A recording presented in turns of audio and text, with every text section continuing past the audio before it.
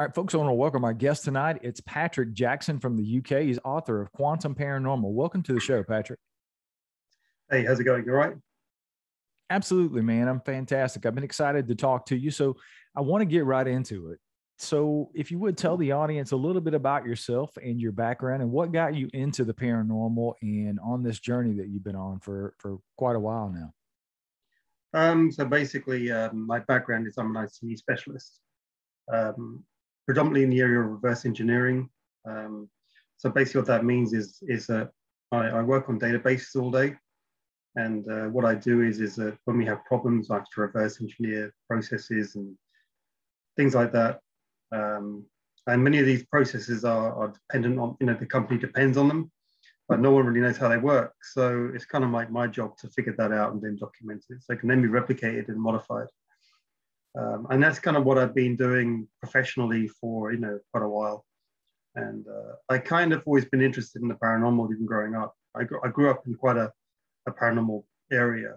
Um, it was a UFO hotspot, um, lots of, you know, ghosts and stuff going on around the area. Um, I used to go around my, around my friend's house and uh, we'd be playing the PlayStation and uh, you'd hear footsteps running across the ceiling upstairs. And you say, well, who's upstairs? And there's no one up there. So it was that blatant, you know. Um, and so it's always it's always interested me, and I, I just kind of thought, well, what happens if let me just give it a try, and I just want to see what I can find. When I when I kind of decided to do it, I didn't actually go in with the intention to to write a book or anything or make a big thing of it. It was just really like something that was kept niggling me all, all my life. Um, when I was uh, younger, I, I, had, I suppose, what you would call a, a close encounter with um, with a ghost monk and uh, it was it was quite it's quite interesting to talk about it because basically I was just sitting on a swing um, waiting for this uh, for the pub to open actually, and it was like summertime. It was late evening kind of thing, about seven o'clock, and uh, I was just sitting there minding my own business, and I just looked across the the field, and there was this guy in a monk's outfit standing there like a statue. And I just thought it was some crazy loon from, you know, from the neighborhood kind of thing. So I was like, I just shouted at him and swore, swore at him a bit and said, you know, what doing kind of thing.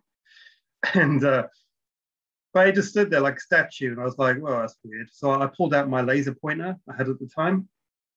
Um, back then, there were all the rage, so he just came out. And, uh, I, I, pulled my my uh, red laser pointer out and I shot the laser at him, and I saw it reflect off his chest and got him right in the face. And I was like, yeah, get some of that, you know, because he wasn't answering me. So I thought I'd just bug him with this. And uh, but when the laser hit, it was just like a black mass. It wasn't actually reflecting anything, and it, it just um, it looked like a statue. It looked like someone had planted a statue in the middle of the field. And, and this wasn't like a when I mean a field, it wasn't like a field you grow crops in. It was like in the middle of a playing field. So uh, it was all very weird. So I just got up of it, got up and started walking towards it, and uh, because you know this is like my village where I grew up when I was born. So I, you know, I wasn't really scared of anything, to be honest with you. So I just got up and just walked towards it, going, "What, what the hell are you?" kind of thing.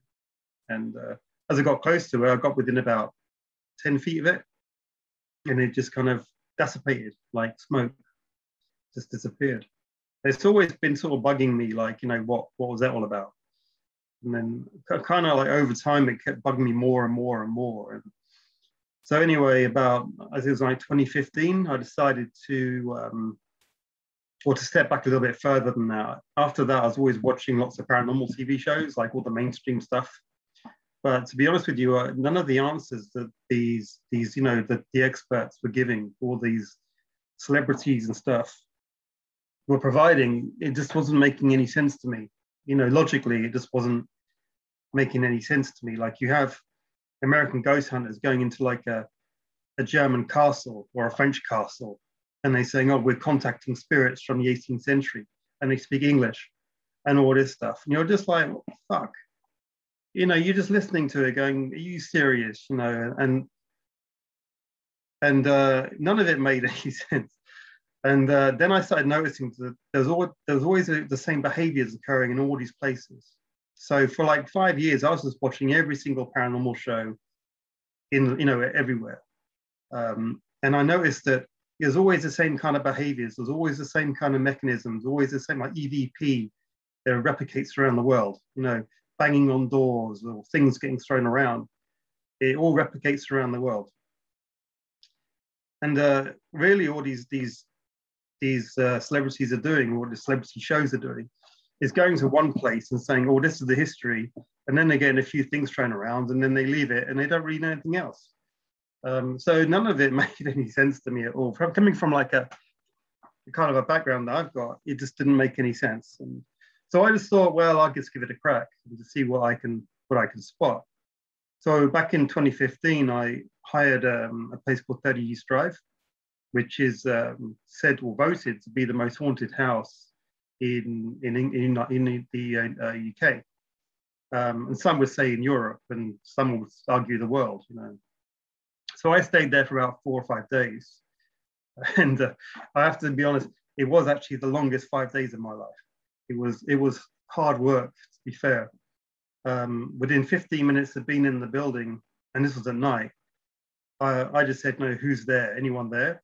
And the, the coal shed door downstairs went like that, and I was like, "Oh shit," you know, because I, I was like, "I'm here now for four days, four or five days, and I've already got this kicking off." so it was really, it was really overwhelming, like uh, what what was going on and so we had marbles throwing around, marbles grazing my face, whizzing past, banging on the doors, um, weird things, a lot of electrical weird issues, um, batteries dying, cameras dying. Um, we would stick things on walls like with this professional GoPro um, adhesive tape. They would just fall off, just fall off, like completely like how is that even possible? This is this is like on glass, and it just falls off. So is it's like going against physics. It's, it's going doing all this weird stuff.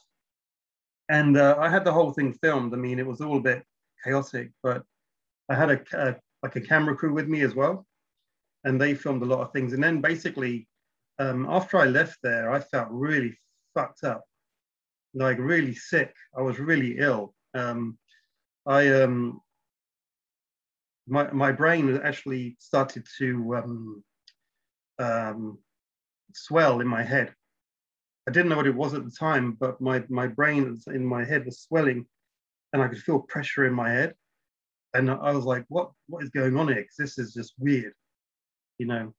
So once we left there, the next day I felt rotten. Um, like my whole body felt like it's fried, literally fried. But not like, you know, like sunburn. But imagine sunburn on a like a nervous system, like on like on your on your internal um, uh, your internal like you know electronic signals. Everything just feel felt really messed up. So all of this really kind of like confused the hell out of me, um, because everyone's saying it was like a dead monk uh, or dead people running around a building, but it was all completely wrong. Like all the patterns are wrong um, you see in, in IT, in, in reverse engineering, what the first thing you do is you look for patterns, you look for commonalities, you look for um, things that keep repeating or, or um, you, you always have to find the patterns. And then once you find the patterns, there's always other patterns, and then there's more patterns, and it all relates logically. And then you can figure stuff out. Um, and that's how a lot of you know, highly complex um, programming issues are figured out just by looking at patterns. You don't have to read the code, just look at the patterns. So this was all going around my head for a long time. Like the patterns are all wrong. This is all wrong. That's all wrong. And then I realized that the what was what was occurring in the building was more like uh, computer-like than a living person. So what would happen is like something on a Monday would happen, like the, the door would bang, but then nothing would happen for four or five days. And I mean, nothing would happen. It doesn't matter what you do, what you say, anything, nothing will happen. And this is why a lot of like TV shows are, are hoaxed, fake, because they they only got one night in there, so they've got to make it as big as they can. But generally, nothing happens. So then they just make stuff up, and they go for know, and that's why it's all faked up. But um, so you have this weird pattern where something will happen and then nothing for days, which isn't normal human behavior either. You know, you don't just bang on a door downstairs and then just go quiet for four days. You know, it just doesn't make sense. So anyway, I, I kind of had all this recorded. and I kept on thinking about it in my head. I mean, I, I got obsessed with it. I was uh, waking up in the morning, and the first thing would hit my head would be this: the whole the whole four days sort of wrapped in my head. Um, and I was just looking for patterns and logic and how how it could how it could fit, you know. And I was in my head, I was modeling all these different ideas, you know. Um, what what I can do, uh, like a lot of IT people can do, is we can like take logic and then visualize it and then model it. And then once you um, you can try, you can move the model around, and then until something clicks. You know what I mean? And that's how we diagnose a lot of things real quick. Um, so I was doing all this, and nothing would make sense. I was like coming up with all these these ideas. And then what I found was is, is a friend of mine sent me a picture, um, and I saw it, and I just looked at it because um, at this point I was actually staying back late after work, looking at all my photos and videos and stuff like that, just to see what I could find, you know. And then I finally got this picture and I looked at it and I put it through some photo editing software just to clean it up a bit. And what came out was a small silver sphere. And it was literally the size of, uh, you call it like a baseball, it was about this big. And it was hovering off the floor. And then once I saw that, that was like my eureka moment because it was just like everything in my head just suddenly boom and, and compiled and like all these answers started piling out my head. So what is actually happening in these buildings is, uh, or in poltergeist activity in particular, uh, because you can't say the whole thing, but all I'm saying is for poltergeist activity in particular, is that um, I realized that these small silver spheres were the same thing as what the pilots saw during World War II, the Foo Fighters. You ever hear about them? I definitely have. I, I was literally saying it to myself as you were talking. You, you, are talking about the Foo Fighters. Yeah. So what what was what were the Foo Fighters seen doing back in World War II? So back then they were um, intercepting the the um, the air forces, the U.S. Air Force and the British Air Force going to Germany and the German Air Force coming to Europe. And when I mean intercepting, what they were doing, they were swarming the the, uh, the aircrafts and then whizzing around them, and they were causing all sorts of disruptions and all sorts of problems, communication issues. Uh, they were even actually um, altering the the laws of physics around the aircraft themselves. So they were doing all sorts of crazy stuff, but they never actually attacked the the uh, the crew, but they they did cause a lot of problems. So I was thinking, well, hang on, you've got all them up there, and then you've got one of these down here. So what's what's going on there? What's the relationship there? And then I kind of it dawned on me what it really was. You see, the there are three types of Foo Fighter uh, spheres. So the first type, the type one, uh, they're quite large, um, and they operate approximately 100,000 feet up in the air and they operate in swarms of about 50 or 60 and in clusters, in lines or clusters. And you're thinking, well, what, what, are, they, what are they doing? What's their behavior pattern? Well, they're intercepting things. So what are they intercepting? And then it dawned on me, they're actually intercepting other UFO craft. Now, the, the only way that that's possible is like, say, for instance, you have this, you have you have a cluster of them over one side of the country, and you have another cluster on the other side of the country, and there's something in the middle that comes down, right? So then what happens is that they can't communicate with each other because like our own stealth aircraft, they, they can't give off emissions. When you give off emissions, they become detectable. So what they do is like our own stealth, they use a microwave transmitter, which then will either, in our, in our case, it goes up to a satellite and then it goes, it gets relayed to the Pentagon or wherever it goes. These use exactly the same logic, but in reverse. They signal down to the ground. So what happens is a cluster here will signal down to the ground to the one in the buildings, which will then signal up to the other ones up here. So it's a relay system. So if it's a relay system and it's a drone, basically it's a drone these things, then it's, it, number one, it needs a network. Number two is receiving and, and giving off emissions. And then you have to ask yourself, well, what emissions is it giving off? So you got people in these buildings who go, Oh, I'm feeling faint and sick. And they faint and they start puking and they've got headaches and nausea. And they're saying the spirit is doing it to me, the evil spirits. It's not, it's radiation. It's, it's, it's high, it's high uh, energy emissions forward slash radiation. So what it does is it, it goes in line with the inverse uh, square law of radiation, where basically, if you have a radioactive source, or basically it's doing what I call burst transmissions. So this thing isn't transmitting all the time. It's only transmitting when it needs to. And it's, it's the same thing we used in World War II. So what happens is they go dormant um, and they basically switch off, right? And then when the signal comes down, they come online and they start relaying, which means emissions. And then what happens is, is that they do their, their uh, once they do their uplink and start transmitting, there's byproducts. So what it does, it will cause a diversion reaction to move people away from the source. So in the case of East Drive, the sphere itself is operating in the attic. And I know exactly where it is in the attic.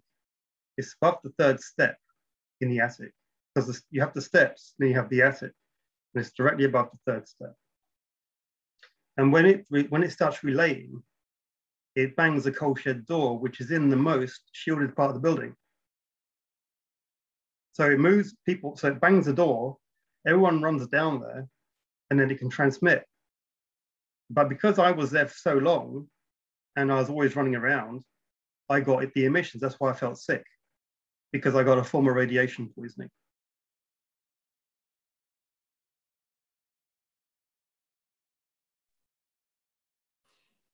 So I've got tons of questions, but I'll start with the most obvious one that I'm sure most of the people that are listening to this are probably saying to themselves, well, the first question would be this where are they coming from? What what do what do you think or what do you know that these things are? Well, I don't know where they're coming from, but I know how they're deployed. Um, basically, you have like a looks like a big like a UFO, and it spins and then it spews out all these little UFO, little tiny UFOs. And, uh, you know, they deploy in the hundreds. Um, and generally you can't see them under your normal eyesight. You have to use infrared, um, but that's what it is. They just get deployed. Um, in fact, as I said, we, have actually got two of these. We've got two that crashed. Um, both one was a failed deployment and the other one was a crash. Um, and we've done a material analysis on the one that crashed.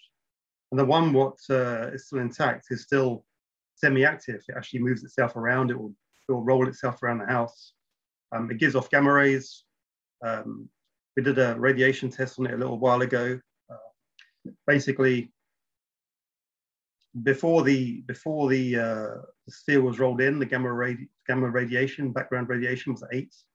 Rolled in, it was 50.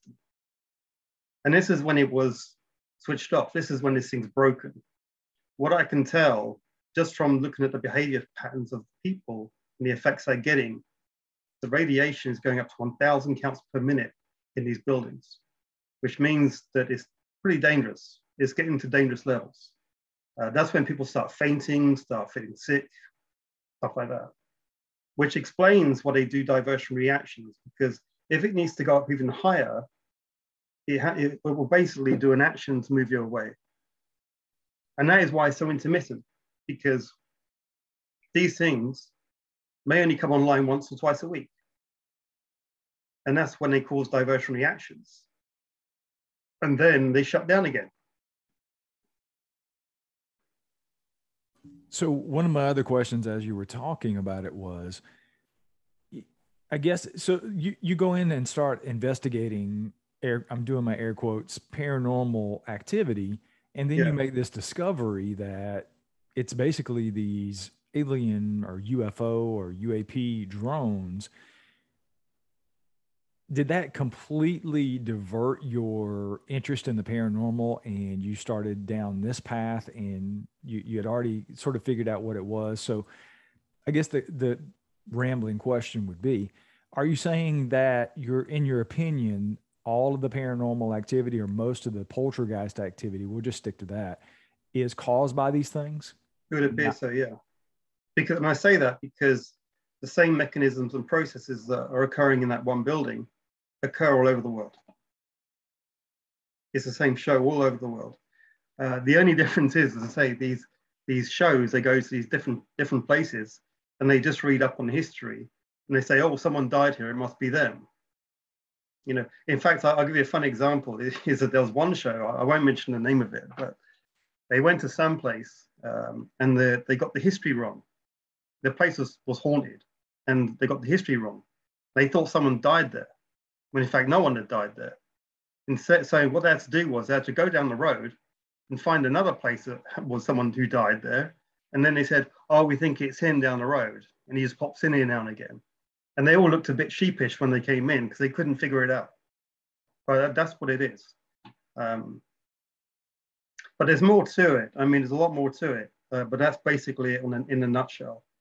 Um, and the actual the same objects that are in the buildings are swarming the US Navy right now. That's what, you know, what his Pentagon releases. Uh, and you, if you look closely at some of the images, you'll see like a, a, an object in the middle, and then you'll see three spheres around it. And what it's doing is intercepting that, that uh, object. This, is, this answers the, the age old question like, where are all the aliens? Because they're basically kept out. They're kept out, it's that simple. Now, these spheres have been seen from the ISS, been seen from the planes, um, seen all the time on the live stream um, from, from the ISS. It's, it's everywhere. They're the most common UFO seen today. Um, and they're also in buildings. It's that simple. And I know we kind of breezed over it, and and I'm I'm feverishly writing notes as you're talking. So you said, I just want to clarify that you have two of these, one that crashed and one that one other one that you've collected. What type of test have you done on these things, and what have you been able to figure out based on having these things actually where you can physically touch them and examine them? So the, the, the objects in question are in the US. I'm, I'm in the UK and I couldn't fly because of COVID, but I have a scientist guy, a, a friend over there, and he has uh, analyzed one of them. And we're trying to get the second one analyzed, but uh, we're still trying to work on that. But he's done a whole technical paper on the first one. He's um, sample, he's got hold of the metal and gone through it all, um, a whole technical research paper on it he can talk about that. He's the expert on that. But he can go through all the elements um, that are in it. Um, that is impregnated with nanocarbon tubing, which we can't replicate. It's actually a smart metal. It's not. It's something we just can't. Rep- it's outside of our material, um, our material science. Um, and you know, we we've got two of them, and and uh, it's and the other one is actually crashed 40 years ago, and is being held by a private in private hands and he just keeps it in his shed. And he gets it out now and again, rolls it around and plays with it and puts it back in. And uh, you know, this is this is what it is. And that was still semi-active. That still that still moves around on its own, uh, gives off gamma rays. It does all sorts of crazy stuff. Um, yeah, and I think it's the only two that are in the public domain. Uh, the other one, which was a Betz uh, sphere, um, I think that one got swapped out by the military a few years ago, but I'm not sure. I mean, I, have considered them, but but as far as I'm aware, it's the only two uh, Foo Fire spheres um, that are in the public domain. Yeah, as you were talking, I, I wrote down about three minutes into what you were talking about. When you started describing these things, I wrote down Betz sphere because that's exactly what it mm. sounded like, and that was going to be one of my following questions. Yeah, this thing was moving around on its own. It tended, it appeared that it had, it wouldn't roll off of tables, and it sort of had the self-preservation, almost in intelligent control, but yet it was this sphere that there was clearly not a little tiny alien in it. It was it was some sort of technology. Yeah. So that was going to be my question. What, had you heard of the Betz sphere? And obviously you have. And what what you thought that the correlation between the two, but you you think they're they're one and the same. Is that the same I mean? thing? Yeah. Now, the thing is, how these things operate is from what I can tell, is uh, because, as you say, there's not like a little alien flying the damn thing. Um, it's basically um, rule-based artificial intelligence. So what that means is it will have like a database and it'll have like a set of observations and a set of pre-coded actions. So what they do, what that means is they all like they all have the same triggers. They all have the same. They're all looking for the same thing, and they all have the same triggers. Um, and I could go a lot more into that, but it's, it's a real it's, it's it's a long discussion, you know. But uh, that's why that's my new application, which I developed, um, called the Ghost Code, uh, the, the phone app called the Ghost Code. It's just come out. And what it can do is you I, I found, well, the, the backstory of that is these, uh, these um, seers have been seen making crop circles. In fact, you know, especially here in the UK. And in one of those circles, there was a code. So I managed to figure out, I found, find out what the code was. I then replicated the code and then put in my own commands. And then I put it into a phone app, which then broadcasts that via audio played it in 30 East Drive, and guess what happens?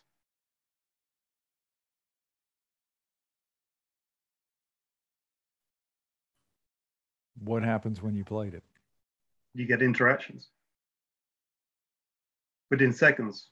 And we've also taken it to the, we took it to Epping Forest as well, um, with a really good team here in London called um, West London Paranormal. They're a really good pair of guys and open-minded and stuff, you know. So they, they said, yeah, come along, we'll try it out. And we, we went camping in, in a place called Epping Forest, which is like a real haunted woods around here. And um, turned it on to within within two seconds, all the sensors lit up. And what it does is in the open in the, in the open um, areas like woodlands and outdoors, it will just basically come and ping you. It will come and have a look, and then it will leave. And in fact, I've replicated the same thing in my garden. I've um, basically got video on my YouTube channel where I just set the sensors up and stick the phone in the middle and walk away, and all the sensors light up in about 40 seconds. It's always around about 45 seconds. Um, but if you do it inside a house, inside a building where these things are actually they're actually operating within, it generally uh, it triggers an interaction of some sort. Um, so yeah, I've done five videos, I think four or five videos now of these of it actually working. Um, and it's now on Google Play. You can download it. It's coming out on uh, it's coming out on um, Apple iPhone soon. Um, so yeah, it's, it's there. Um, it's been tested in America by a team called Outcast, and they got weird. They they said they got weird reactions when they played it. Um, so yeah, it's interesting. It's interesting. Um, that's how that's how it works. That's how it works.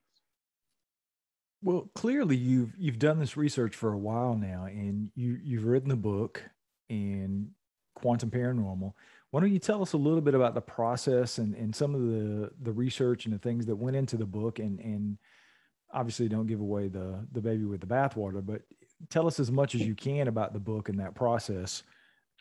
So, I firstly I took all the existing um, belief systems, all the existing, you know, all the stuff that celebrities say and um, how they explain it, and I just dismantled it all um, just by using just logic, really. Um, like EVP, EVP is an easy one. Like um, the mainstream will say that um, the spirits will manipulate the radio to send through um, messages, or they manipulate sound waves, or it's operating on a frequency that we can't hear and all that stuff. And all that's complete crap. You see, if the human hearing uses um, compressed air to hear, so when, when we're talking, our voice box and lips are compressing and shaping air and then create sound waves, and that's why we can hear it. But you can't hear EVPs, even, even if they're really loud, you can't hear them. And the reason why you can't hear them because they're using a different process. They're using electronic process. So what's happening there is um, they're actually broadcasting it either by a radio wave or it's like a microwave. And what it's doing is it's actually picking up on the recorders as crosstalk, electronic crosstalk. You know, like in the same way a guitar, a guitar amp will pick up uh, radio waves. Or cheap ones to do anyway. And it's, it's the same kind of effect, the same process. So what it's doing, the sphere itself is broadcasting a radio wave, and then it's picking up as a crosstalk, and then basically people are hearing that as voices. Um, and that's it's that simple. Um, the other one, which is what they call direct voice, is where you can actually hear hear voices. And how do you do that? Well, these uh, spheres they use a field-based propulsion system. So that means it can commit force on objects, including air. So if you can if you can expand the field and then resonate the field, you'll then create compression on sound waves.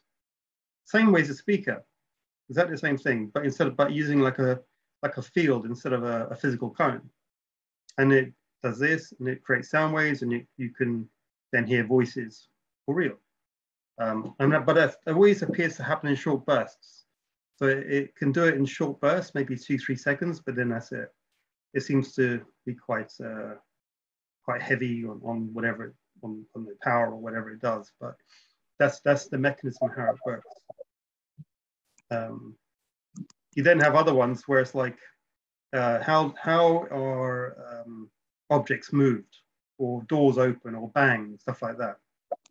Well, it's again it's the same mechanism. You have um, a field-based propulsion system, which can basically commit force on objects, like a magnet can, right? But instead of a magnet just affecting like metal stuff, metal things, it can affect anything. So what it does is point a, a beam basically at the door and just goes bang, bang, bang, bang, bang. It's that simple. Steve, are you with us? Yeah, yeah, just trying to. All right. Okay. Um, we're we're doing video and audio, and I'll clearly edit all the audio stuff. The video is basically for my subscribers on Patreon. So they're they're used to this kind of thing. Uh, they get the unedited versions of the the show. So eh, based on that, what what I'll do is I've got a question for him on on for Patrick about what we were just talking about, and then after he answers that question, I'll just go back over to Patrick, and Patrick's going to introduce you, and we'll we'll bring you on that way. Are you you're on your phone? Yeah, yeah, I'm on the phone. Okay. Well, while we're talking, if while we're you're not talking, if you just mute because I'm getting a little bit of feedback in the background. So um, when you're not on actually speaking, just mute and then, like I said, I, once we get through this question I'm about to ask, um, I'll have Patrick bring you on. Okay, I see you're muted. So, so my question for you now is, Patrick, that I'll play devil's advocate for a moment, right? There's I've I've had experiences that I thought were paranormal experiences in quote haunted places. For example, you're talking about EVPs. I captured my personal I I captured it on my personal cell phone. I was in this place where my sister was experiencing what she believed was a dark entity that was causing issues with my young nephew at the time. And I walked down this dark hallway most of the people in the that are listening to the show have heard this before, so I'll I'll make it quick. But I was walking down this dark hallway, and I'm challenging the quote entity because nothing was really happening. And I say the, the exact phrase, "You're scaring my nephew. You're I'm a grown man. I'm not scared of you." And I clearly, when we played back the audio on my iPhone, I say I'm not scared of you, and I hear you should be Mm. As plain as day. So I guess my question then, playing devil's advocate in situations like that, and I know a ton of stuff can be faked, and I know I didn't fake anything because I was myself and and my partner and my mom and my sister were the only ones there. So I guess my question to you is is it possible that there is sort of this paranormal side to things and there may be these entities that that cause EVPs and even these disembodied voices? Are you can or are you convinced that this is these things that you're talking about in even in situations like that somehow and they're able to produce that type of stuff somewhat on command? Yeah. So what's happening there? You see, these uh, these spheres, like our own drones, uh, can either be run by artificial intelligence or they run directly, as in manual control. And all it really is is someone on the other end saying, "Yeah, you should be." So it can hear what you're saying and it just re- relates to you. And but you got to understand something is that these these uh, spheres they are um, they're weaponized. So to think, I mean, they've, they've been seen taking out rockets. They've been seen doing all sorts of things, um, blowing up um, crafts up in the sky. Human beings are, are an easy target. They really are. If they're really really hostile, they could just get they could do you and you wouldn't even see it coming. Um, and the thing is, the reason why they, they're not actually doing anything to hurt you is case of they're trying to convince you to move away. You see, gamma radiation has a neurological impact on, on people. You know, people who go a bit crazy after a while, after if they've been inside these buildings for a long period, they start getting a bit funny. And that's because of new neurological impacts of radiation. Um, and ba basically, this radiation isn't always there. It's only when it's when it's burst relay. So over a long period of time, you're going to get affected. Um, in fact, the neighbor of, of 30 strides, she always has headaches, always has headaches. And I'm saying to her, well, do you get headaches when you leave? Oh, they disappear. And then she goes back in the house, all oh, got headaches again, you know. So the thing is, is that she's just getting hit by the, the, energy, the high energy emissions. Um, but yeah, that's that's what it is. If if these things were really hostile, they could take us out and wouldn't even see it coming. Um, in fact, I think that um, it's happened in the past by accident. You've heard of um, you've heard of uh, spontaneous human combustion. I have, and, and you're saying these things are possibly related to that in some yeah, way? because if these if these objects are in buildings and they're and say one misfires, or it has to fire um, a high energy pulse at a target or, or something for whatever reason, and there's someone in the way, they're going to get fried. And it's instantaneous. Um, the only, I mean, Steve would be a good one to ask about this, but you know, if you have a, a high, a, enough high powered microwave blast, I mean, what do what microwaves do? Well, they heat atoms up. So if you put a, a nuclear source behind, or you know, a real high nuclear source behind the microwave, and direct it at a person, they're probably just going to literally just disintegrate before you. And that's what you see in uh, spontaneous human combustion, where it looks like there's no other damage to the room or very little, but the person's just been fried. And I think that's that's why there's been so many, there's been so few cases of it. It's almost like um, it was like a, a software upgrade that went out and it went wrong, and then they revoked it, kind of thing. Because you don't really hear of it happening these days. It just happened in the past but it's never, it hasn't really been seen for a long, long time. Um, well, why don't we go ahead and um, Patrick, I'm, I'm going to let you introduce our other guest uh, and bring him on, and we'll. I've got a couple of questions for him right out of the gate, but we can start there after you go ahead and introduce him. Yeah, sure. This is uh, Steve Colbern. He's a material scientist in the US. Um, he's played a big part in my uh, own research, and uh, we actually crossed paths uh, a few years ago. I contacted him after I saw um, his uh, the film he's in, Patient 17. Is that right? Where's Steve? Well, welcome to the show, Steve. I think he muted himself. Are you still there, Steve?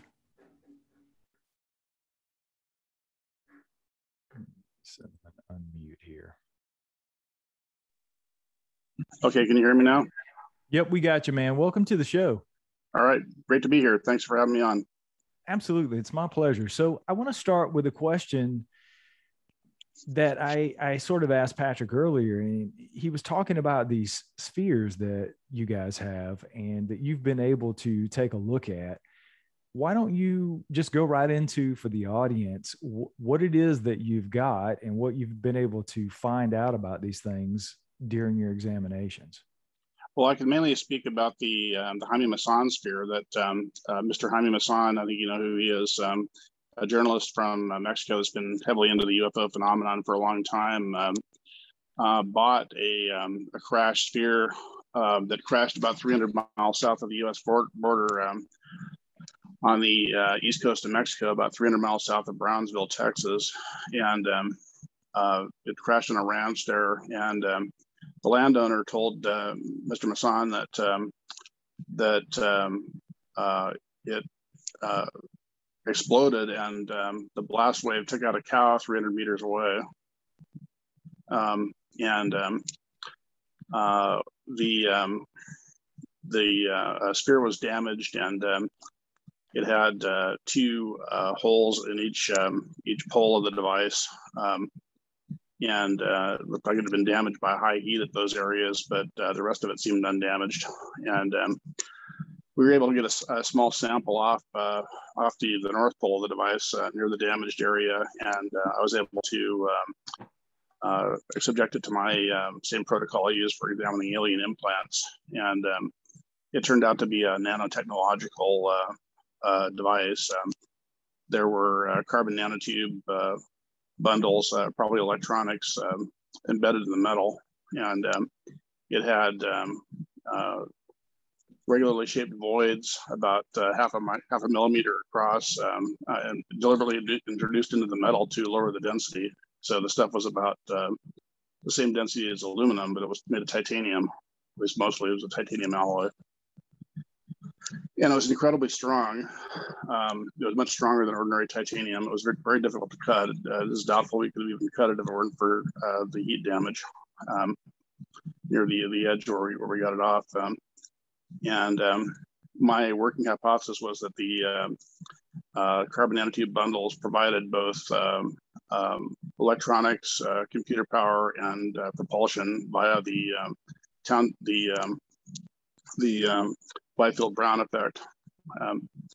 so they, they apparently operate by uh, anti-gravity type propulsion, and which makes sense from the, the way they maneuver and and execute such abrupt uh, high G maneuvers. Um, these things have also been filmed uh, making crop circles, and um, think they do a number of things. They're, they're like they're like high tech drones, like Patrick was saying. And um, I actually uh, wrote a report on the um, on the material, and um, I can uh, send you a copy of that if you'd like. Yeah, that would be great. And I, you weren't here when I asked Patrick the question earlier about his hypothesis or his theory on what these things are, are and he was talking about the the communication and what what he feels like or what the theory is on these things i guess my question again sort of devil's advocate i guess type of question if we're dealing with something that is so apparently far advanced beyond our capabilities the the sort of communication we're talking about almost seems rudimentary to me. So, do you have a, a I guess, an answer for that, or a the sort of the sort of communication like saying uh, saying you should be scared of us or something like that, or or, or what? Well, no, I'm talking just in general, like the type of communication we're talking about. If these things are bouncing signals from one to another, sort of back to a larger ship type of thing, it seems to me that that's sort of a rudimentary way. It's almost like a line of sight type of thing for them to communicate. And I guess my question is, what purpose does that serve the larger ship or the people or the things, the entities that are in control of these drones? It seems to me that if they've got this capability and they've got this sort of technology, that they would be way farther advanced when it comes to communication. I guess does my question make sense? Communication, they can communicate with people um, telepathically. We have reason to believe that, and um, they're mainly in um, they're mainly uh, put out there to gather information um, from um, you know all parts of the electromagnetic spectrum, what people are thinking, and just intelligence in general about what's going on on Earth. And um, I don't think that they just communicate line of sight. They can communicate through the Earth and uh, um, means other than line of sight. Uh, they, they, probably operate with um, scalar electromagnetics, which is somewhat different than the normal transverse waves that uh, are talked about in the textbooks. Uh, Tesla knew about them, and um, um, the, the system that everybody knows about, or most people that know about Tesla know about, that enables people to communicate um, through the Earth by ELF, uh, utilizing scalar waves, for example. So that's that's definitely not line of sight. And um, the uh, the shape of these things as a perfect scalar antenna. It's a sphere, so um, spherical antennas are what people use to generate scalar waves. I mean, I can tell you why he uses line of sight. Um, so basically, um, uh, what's happening is, is when the when the top uh, the, the type ones, which are operating up in the sky, up high in the sky, when they detect an object, they have to signal each other. So it has to be line of sight. Otherwise, it gives off uh, emissions. Um, it's exactly well, the same way our, our own line of sight too. I don't think they're restricted to that. Is all I'm saying. Mm. Oh yeah, yeah, they're not restricted to it, but I'm saying in in the in the um, idea of the actual interception, um, because the interception um, process replicates all over the world. Um, what you'll see is uh, three spheres uh, basically triangulating on a target, and the, the bigger the target, the more spheres there are. Always in packs of three. Um, and what they'll do is is that there'll be one at the top, one at the bottom, and one at the side. Um, and everyone sees it all over the world, from from China to America, UK. Uh, happened over London a couple of weeks ago, um, and that triangulate that triangulation process can only occur uh, by using a, a, ground relay, because what it does is you have a this obviously a external uh, interest or group of interest uh, sit, sitting in the sky, and these these uh, spheres can just hit them at all angles at once exactly at the same time. So it's always in, in sync and it's not detectable. Um, mm. So that's the that's why they use a ground relay because it's the only way you can communicate um, securely um, to produce that effect. Then what? and if you actually, sorry, if you, if you actually map all the haunted houses in, in the UK, you'll find that there's a pattern, and they generally operate in lines and clusters um, which generally follow um, environmental topology, which replicates our own microwave-based communication networks. Well, yeah, they, they, give off, they, give off, a lot of microwaves and um, also X-rays and gamma rays, like you were saying. And I just wanted to say that I think I think you're right in that um, you can yeah. operate on on manual control, where there's just somebody controlling it at the other end, um, or automatic. Control via some complex program. Um, most likely via a very large computer system that we have reason to believe exists that um, all the aliens and the experiencers are plugged into, as well as these spheres. And um, Maussan also came up with something interesting about the spheres, and that they um, they dock with these um, these long uh, snake-like objects that contain hundreds of spheres uh, going in and out constantly. That um, these objects uh, are up at about 100,000 feet altitude, where you can't even see them from the ground and um, he um, saw these things uh, via a very large uh, uh, lens, uh, telephoto lens that he, that he bought. And um, if you want to uh, to check that out, you can go on this website. I think it's still on there. I think I've got some pictures of of those snake-like objects that he that he sent me that I can send you to as well. Mm. And it should be noted that um, during World War II, what they, they encountered was loads of these uh, these spheres, but then, it, then it, they would then change appearance. They would go from being a silver ball to a glowing light. And then what would happen is they'll pass through the walls of the. Silver ball, but it's got a plasma envelope around it that glows uh, various colors depending on their power output.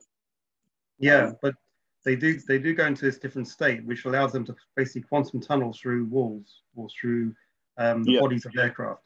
And that is exactly, yeah, that's exactly what the um, the pilots were, were encountering, and they got so serious. They were, they were really scary because they thought it was a, Nazi weapon.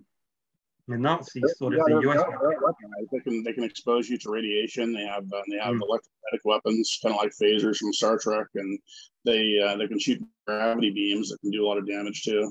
That's how they make yeah. the crop circles. Exactly. Yeah.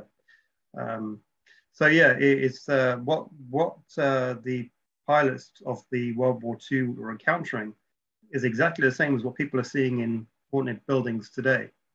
They're seeing um, basically balls of uh, they they call them orbs or ghost orbs or spirit orbs, something like that, and they're basically passing through walls and through out the other end, and then they can become solid again, knock something over, and then go in, back into this transparent state again.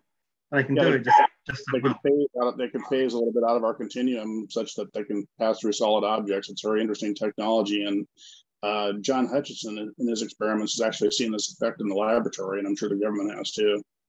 Uh, but the aliens have uh, perfected the technology and uh, and uh, weaponized it, utilized it. Yeah, and what and generally, as you say, like advanced technology can appear as magic or supernatural, right. which is then interpreted as spiritual. Any sufficiently advanced technology is indistinguishable from magic.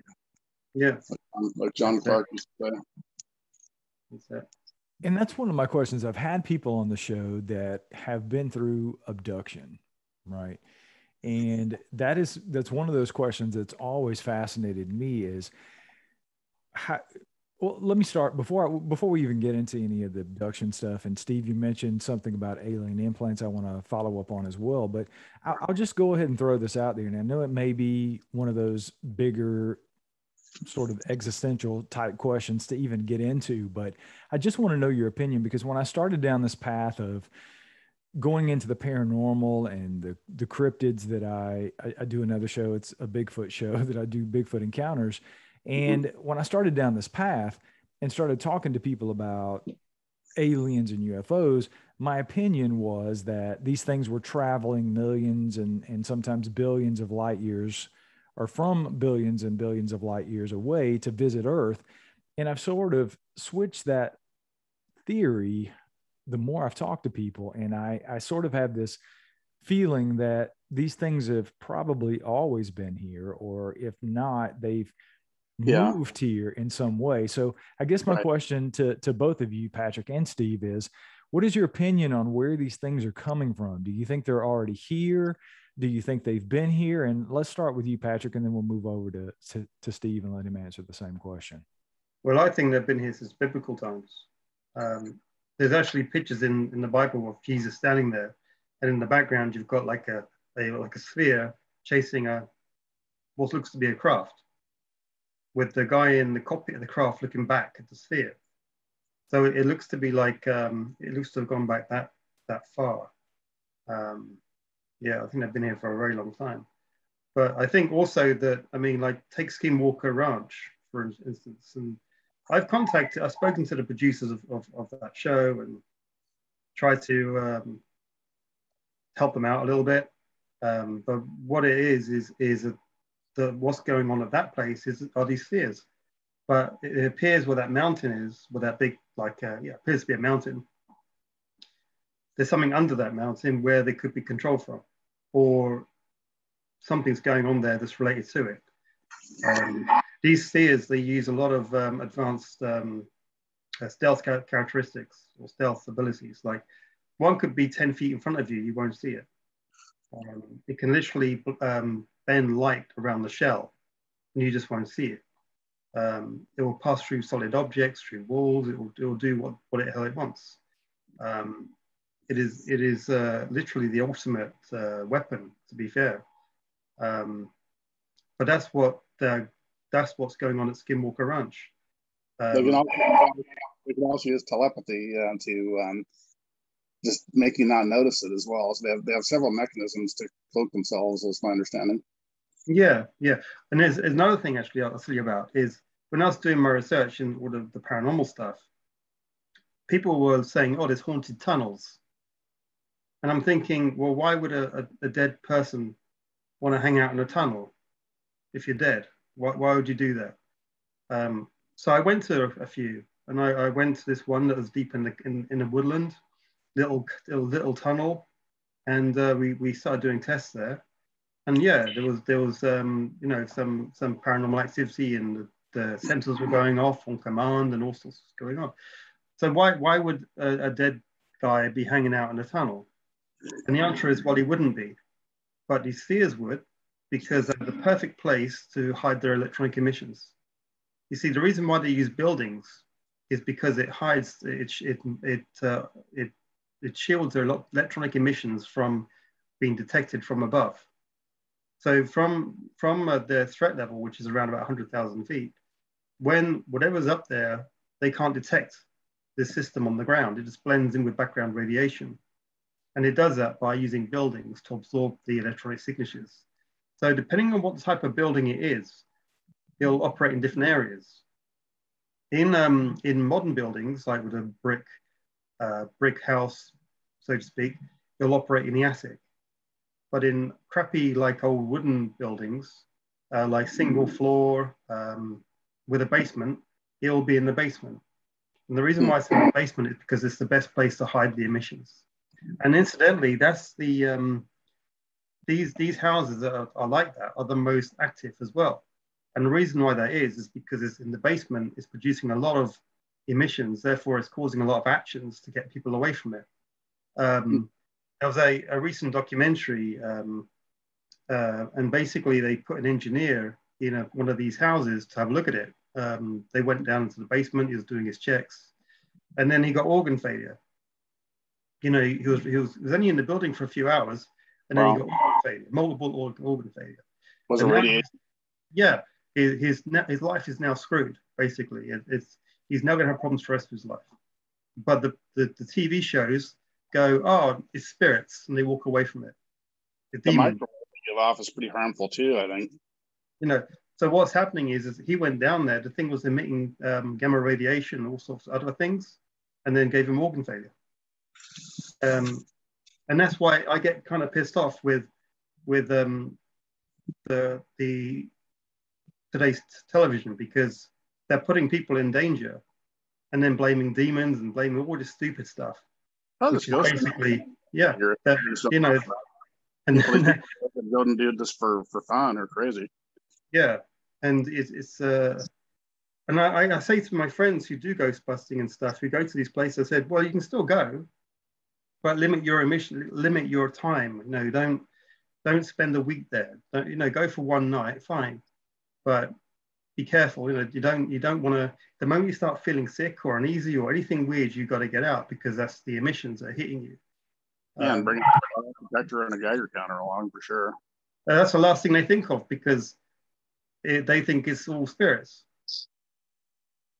Steve, I asked the same. I have the same question for you. Uh, mm-hmm. Back to the original question, the alien question, I guess. These these entities right. that are controlling these drones where are they from? What do you think they've been here? Are they traveling here? What, what's your opinion on that? Well, there's a there's a number of aliens that are visiting this planet, um, and um, the main ones that are doing this are the Greys, uh, the classic uh, uh, little guys with the wraparound dark eyes, and um, they told the government that they'd been coming here for about 10,000 years, and um, both uh, their statements and abductee reports uh, to the government, that is, and abductee reports indicate that um, they're um, uh, an alliance of similar species, maybe like similar seven similar species, my understanding, uh, that are within that come from within um, about 100 light years of here, and um, from several different planets. And um, uh, the ones that are that are doing this on Earth have been here for a long time and live here basically, and they have bases throughout the solar system. And um, some of the um, some of the older UFO contactees said the same thing that they were coming from within the solar system, and um, people didn't believe them at the time. They thought, oh, they have to come from other star systems, but well, these ones that are doing this live here, so um, maybe they rotate back and forth. I don't know, but um, the personnel that are doing this, alien personnel that are doing this, basically live in on Earth or in the solar system, uh, various places. So you mentioned earlier, Steve, that you had had contact with people that have these implants, and yes. I've been I've been interested in that for a while. But the people that I've talked to, I've, I've had a couple of people on the show that have had abductions, and maybe some that thought they were abducted, and nobody really had. I had that question for them: was it was there some sort of an implant or any physical evidence left behind? In some cases, there was, but not an implant.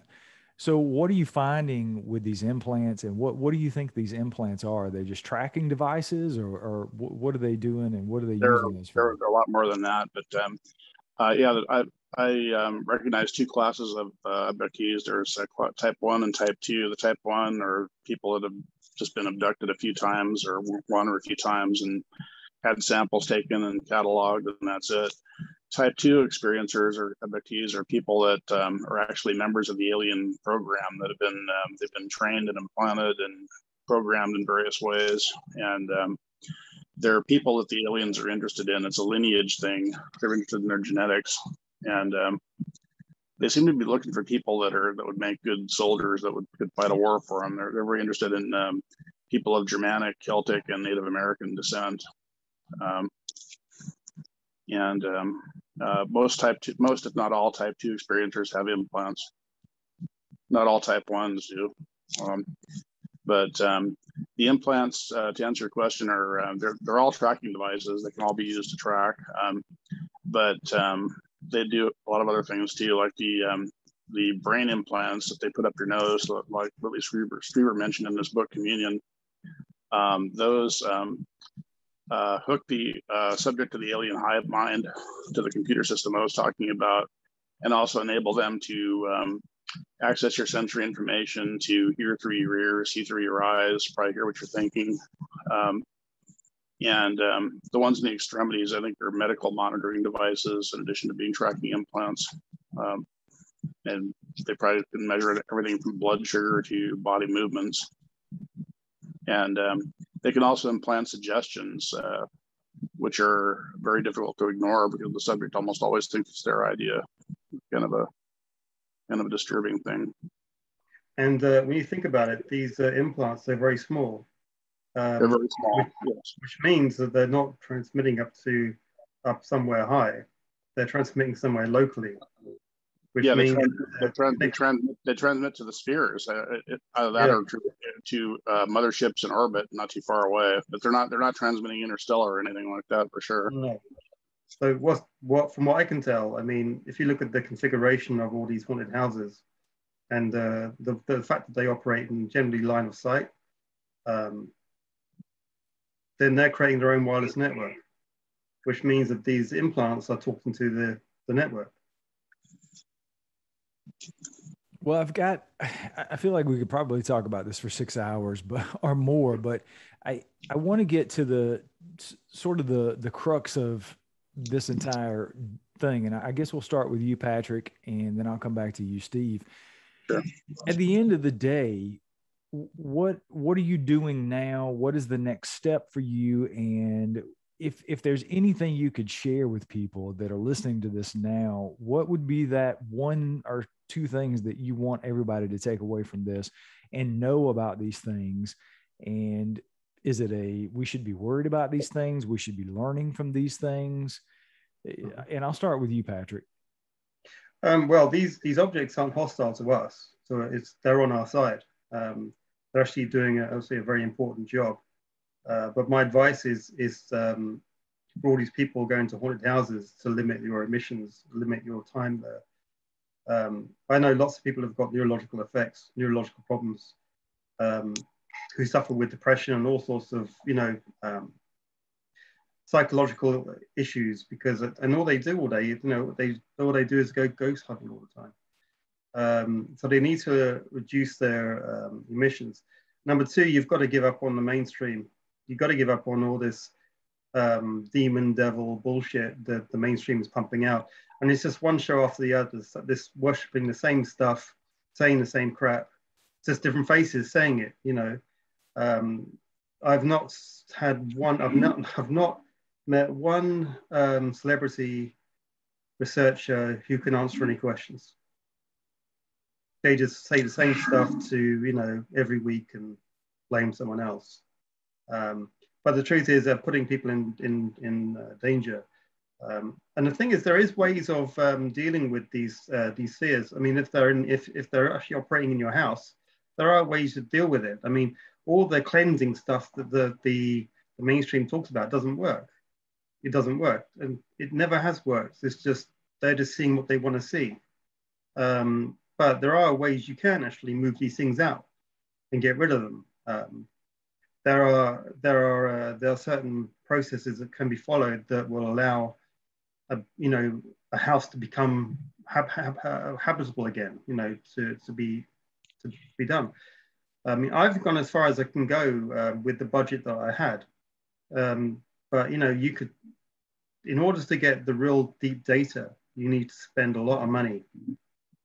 You need literally defense level um, defense level contractors to monitor yeah. signals and, and stuff like that and get them to and that is probably what's been going on anyway behind the scenes. Um, but you know the that that's what it really is. Um, yeah and I think, um, sorry uh, but your research is very important in that um, this is the first progress that civilians have made in, uh, in, in the paranormal in many many years. Yeah because the truth is it's always been happening for the last I would say 100 years actually, is people going to this place and they, they're all getting all the same things occurring in all these different buildings. And then they, they're just giving it a different story on each one. Um, and I'll tell you how, how funny it is, is I, I went to do, I went to, the, when we were doing the tunnel tests, um, we had a, a, um, a, a, guy who was a psychic who came along. He said he was a psychic and stuff. And he's a very nice guy. I had nothing against him. He's a very nice guy. And he said, we saw like a little girl and stuff, which was interesting because another group of, uh, of, of psychics who were there two weeks prior said the same story. And I said, and they said, oh, they, they, um, they did this ritual thing and they sent her to heaven and all that. And then this guy says he just saw her again. So it's like the same, it uses the same kind of front in order to um, mm. divert, cause diversion reactions to, to what it's really doing. Um, mm. Like using the same story, if you know what I mean. Um, but the truth is, is, is, that what's really going on is you see the, the type one spheres are intercepting other groups and interests, right? Which means that they they surround the craft, and most of the time the craft will just turn around and leave. But now and again, and I always say twice a week maybe, over the UK anyway, one is blown up, one is shot down, and it's exploded. And these, these events have actually been caught on camera. Um, not often, but it is caught on camera. And then, so what happens? So, like our own Air Force, when we shoot down a, an, like a jet, the pilot ejects, right? So if these, if the same logic applies, so the uh, if they blow up a say a, a, spaceship, the crew ejects, and where does the crew land? They land in either deep jungle, or they they land in a woodland somewhere, or they'll try to land in remote areas. That then means you need a another group to go and find them to extract them out. So what happens in these haunted houses is always the same pattern. First, people start hearing, get feeling a bit sick um, they start getting headaches. And then literally 15, 20 minutes later, they hear footsteps running downstairs. So what's actually happening? Well, the, the uplink is occurring when um, they're feeling sick because that's the emissions coming off from the sphere. And then what happens is they get shot down, they land somewhere, they then send in a ground crew to go and find it. And it's just exactly the same process as what our own military uses over enemy countries. Like when the um, an aircraft gets shot over, shot down over Iraq, um, they will send in the SAS or the special forces in America to go and hunt them down and go and extract them out. It's exactly the same thing. And that's what that is why um, people hear footsteps around these these haunted houses because it's easy to mask light. Light is easy to bend. You know, our, our toys can do it. You know, you can put these uh, toys into water like uh, transparent balls and you can't see them. It's just light refraction. So if you can if you can control light with the gravitational field or something like it, you can walk around uh, and no one will see you. But you cannot mask weight and mass. That's that's impossible to mask. So although no one can see you, they can hear they can hear you walking around, and that's exactly what happens in all these these places. Uh, they'll hear someone stomping down the uh, the stairs, and then they'll basically go out the door, and there might be three or four of them. Uh, yeah, what's. Apparently, can cloak themselves too. A lot of the abductees have reported um, things like footsteps in the attic or the or the roof, yeah. and they, did you go out there and you can't see anything. Exactly, it's the attic. That's where they. That's where they. They either are in the attic or the basement. And then when people do see them, they see like a, like a black mass. And all that's really doing is, is basically is, is converting uh, visible light into dark light. So you can't uh, you can't see it. It's just converting the wavelength of light as it reflects off of you. So basically, they just appear as a black mass to them, to, to people, um, and that's what people see. It's, it's basically advanced stealth, uh, photonic stealth. In East Drive, I got uh, I saw an image a few days ago, where if you look closely, the horizontal um, you see like a figure sitting on the stairs, and if you look closely, where its legs are, the horizontal light is all wrong. It's, it's bending exactly the same point. And that's basically photonic uh, stealth. And it's not working, it's, it's not perfect. It, it, looks good from say 20 feet, but up close you can see distortions and refractions and things like that. And that's exactly what's on the, what's on the video. Um, yeah, then you have a light bending cloaking system. It would be hard to avoid it. Some some kind of a distortion up close for sure. Yeah, exactly, exactly. Um, So what's what's occurring is is that the the they're shooting down um, UFOs up in the up in the uh, upper atmosphere, and then they're searching for the crews and then extracting them out, and that's it. And that's actually, actually what I think is going on with Bigfoot as well, because if you think about it, if um, if a, a crew lands in deep jungle, you need someone in to, to go in who can dominate the jungle, not just you know like a, a people like us. We wouldn't survive in the jungle that long, but if uh, if you send in something that is super strong, super fast, super big, designed for the environment that it could just take on anything, that's what you send in.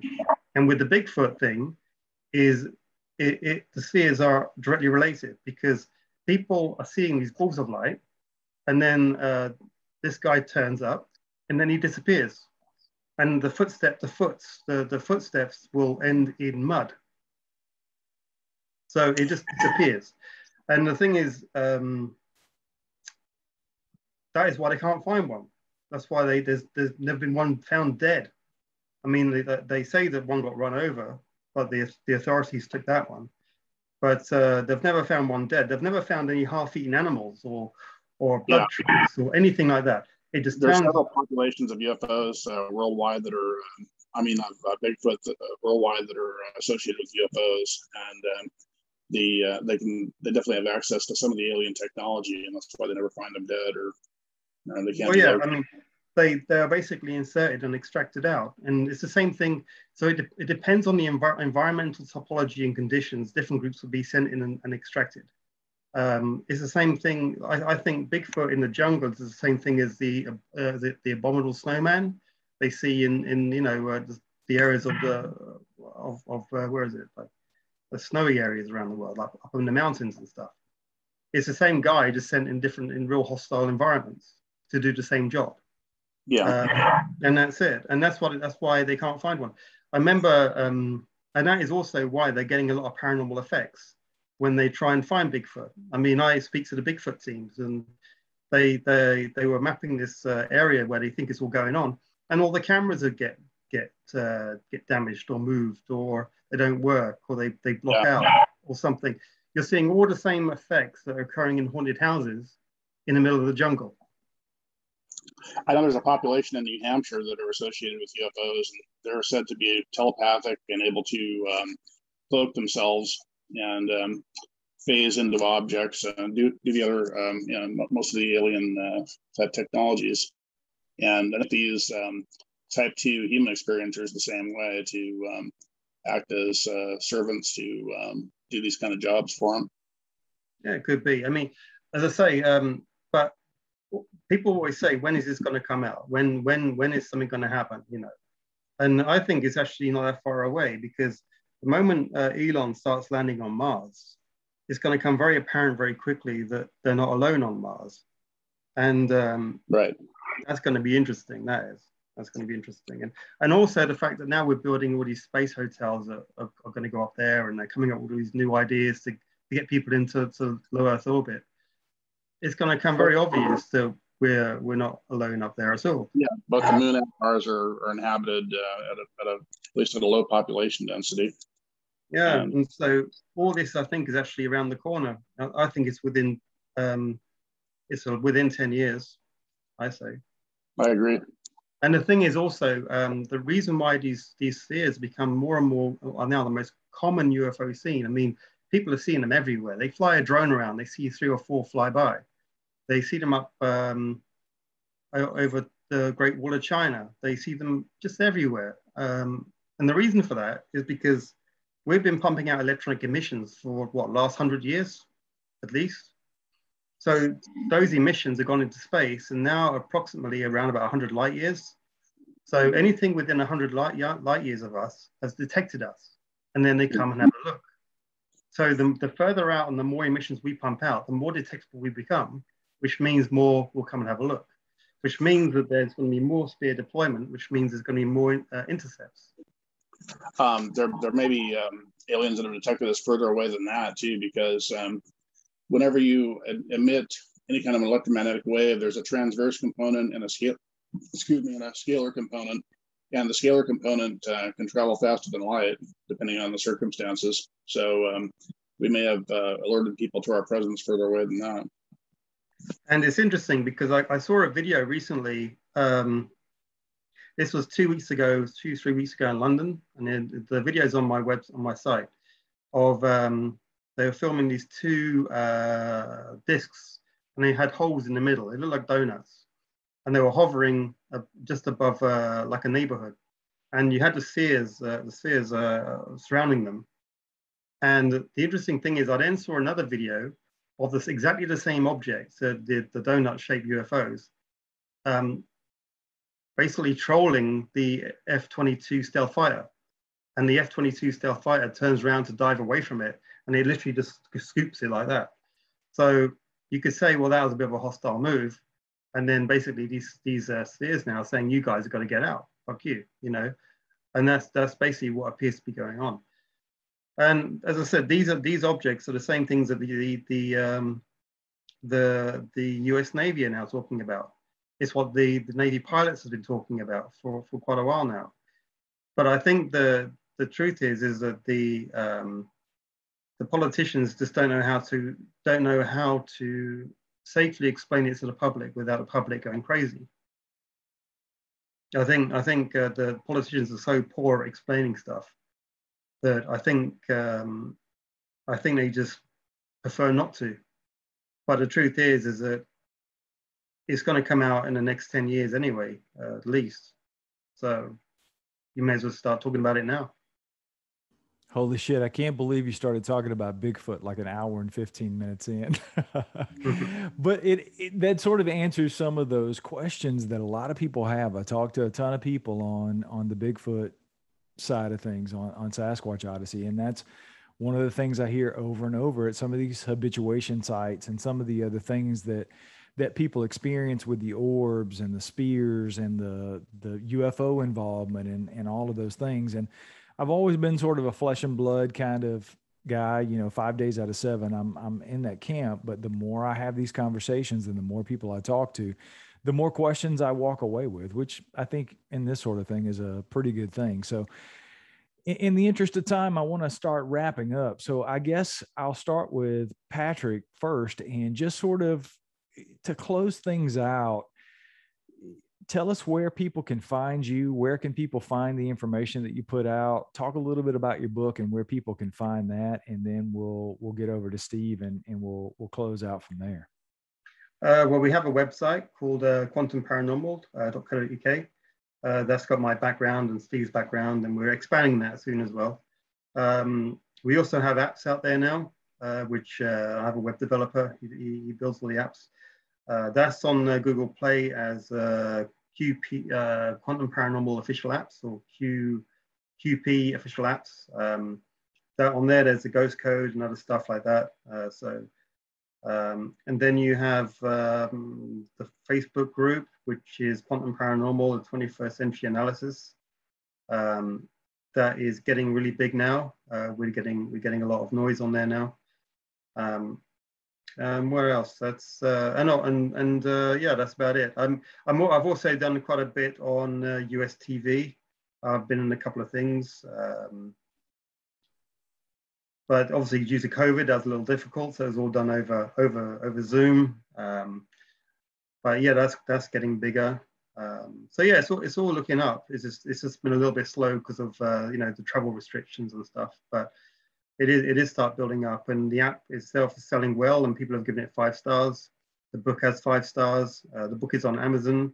Um, there's two versions of it. There's a paperback, which is a little bit expensive due to the way that Amazon uh, charge uh, for their prints. Uh, but the best one is the ebook, the color ebook. That's the best one. That's uh, that's uh, 9.95. Um, and if you have uh, Amazon Unlimited, you can read it for free. Awesome, and I'll definitely link to all of that stuff. Yeah, cool. I think I'm muted Steve. I'm trying to get him unmuted here.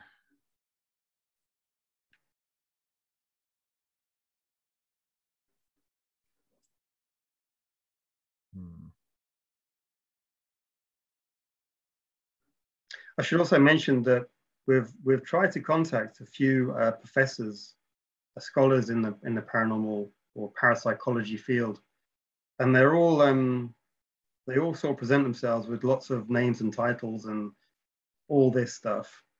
But then I just show them the analysis and the paper and stuff, and they all disappear. They all disappear. It's like a wall of silence, and it's uh, it's it's kind. Of, you'd have thought that they would be up more for a chat, wouldn't you? But I think it will affect their book sales. I think that they they you know, and that's kind of like the wall we're up against. Um, the mainstream TV shows don't really want to talk to us because if they want to keep selling the same old formats, um, the professors don't want to talk to us because it makes them look stupid. To be fair, um, and I have to be honest with you, the, the the book is the only book in the world, the only paranormal book in the world that technical specialists agree with. Every single guy who I have who's read it, who's a technical engineer or technical specialist of some sort, agrees with it. And that's that is a world first. There's no other book in the world, paranormal book in the world, which they would agree with. Um, I've even I've given it to computer architects, uh, designers, web programmers, um, even accountants. You know, people like that, uh, and they all read it and go, "Yeah, that, that makes perfect sense.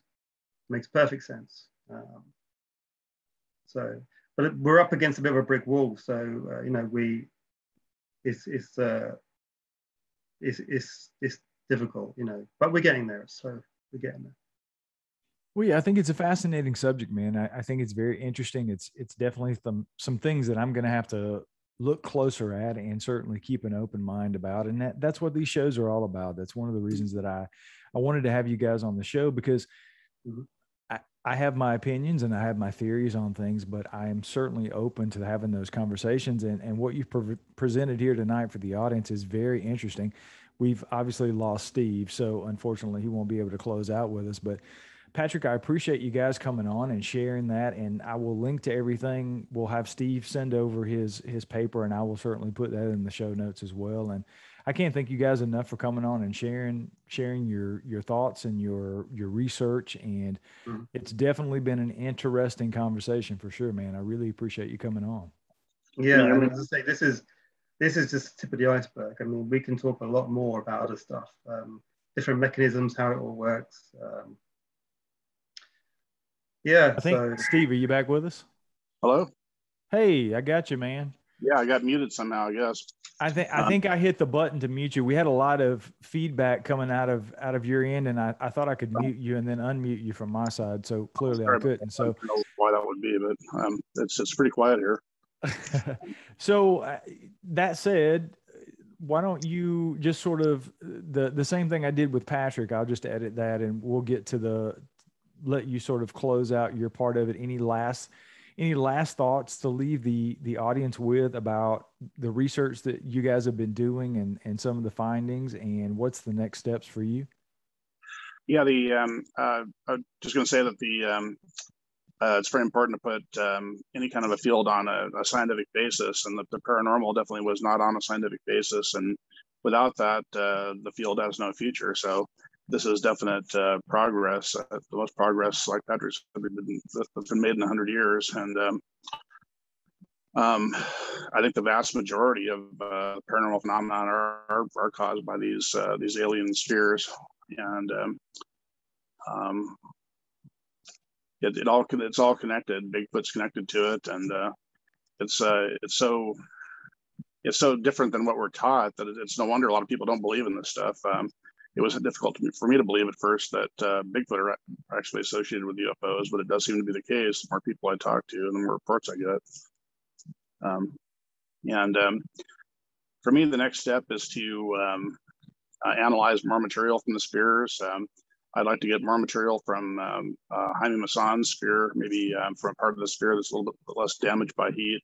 Do some more tests on it, and maybe some electrical tests, find out uh, the electrical properties of these uh, carbon nanotube bundles, prove they are electronics, for example.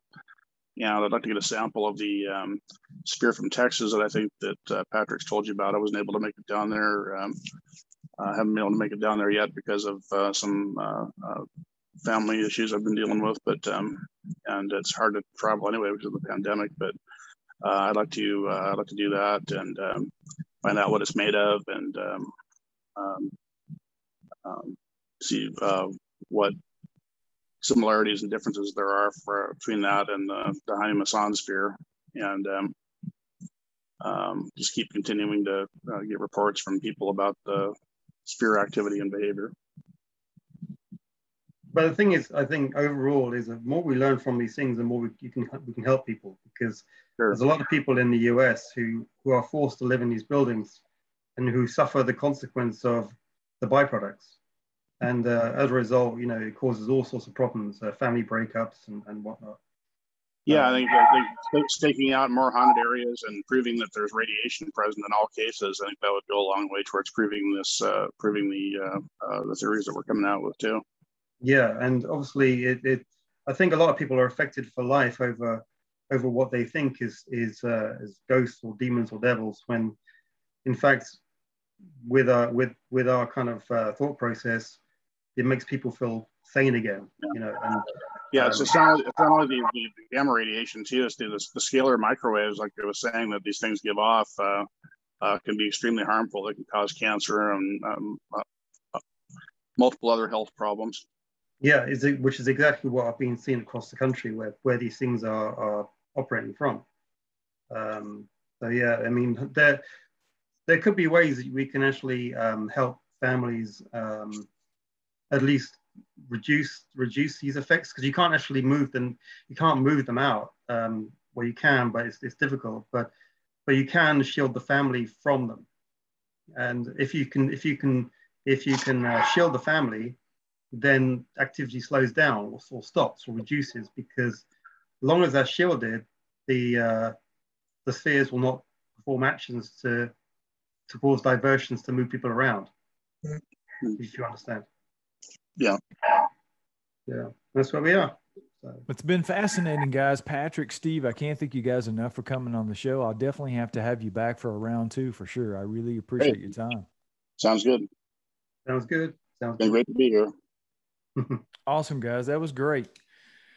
Um, so Steve, like I said, I, I, don't know if you could hear me when when I had you muted, but I, I'd love for you, whatever you've got that you can share that you want to send over. I'll put this episode together. Probably it may be a couple of weeks before I get it out. I've got a couple of shows ahead of this one that I'll I'll do first, and it takes me a little while to to edit all of it. Obviously, we we were getting a lot of feedback from from your phone for whatever reason, Steve. So I'll I'll oh. edit that stuff out. I'm a I'm a pretty good editor. I'm I'm sort of anal when it comes to that as must far be, as sound must be quality. activity here.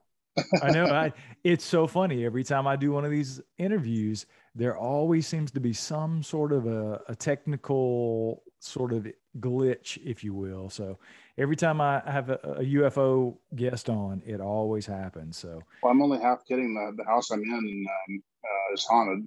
Um, we've got paranormal activity here quite a bit.